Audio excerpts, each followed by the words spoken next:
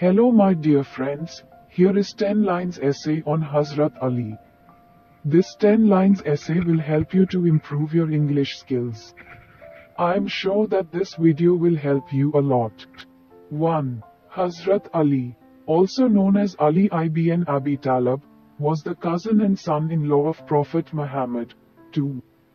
Born in Makkah in 599 AD, he played a crucial role in early Islamic history. 3. Hazrat Ali was the fourth Caliph of Islam and is highly revered by Shia Muslims. 4. Known for his wisdom, he is often quoted for his sayings and teachings. 5. Hazrat Ali was a brave warrior and fought in many battles, including the Battle of Badr. 6.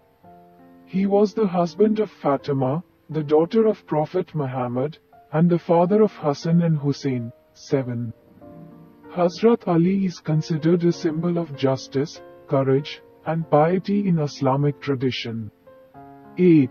His leadership and contributions to Islamic jurisprudence are widely respected. 9. Hazrat Ali was assassinated in 661 AD, leading to a significant schism in Islam. 10. His legacy lives on through the lessons derived from his life and teachings in various Islamic sects.